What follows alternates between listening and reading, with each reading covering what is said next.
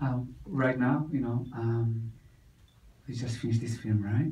Mm-hmm. Um, also, like, Japan is back together, so um, we're gonna be playing some shows. Um, actually, playing at Wembley Arena in London. It's coming March. Yeah, there's there's an album that has taken nearly 20 years to complete, Yeah, because there are ten years blank with the Yeah, brainwash and all those things.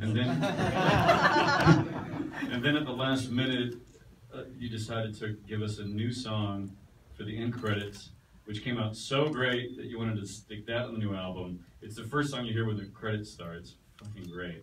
Uh, so there's been like delays, delays, but but it's almost ready, right? I'd say 90 percent, 99 percent done. Uh, Yeah. And then I, yeah, I just kind of mentioned uh, today. Um, I'm also playing um, Carnegie Hall. Um, thank you. Uh, here in New York, of course. uh, January, this coming January 12th and 13th, two nights uh, with the Tokyo Philharmonic Orchestra. There's a little video. You want to run that? Oh, Let's take a few more questions, then we can run, we'll run the promo.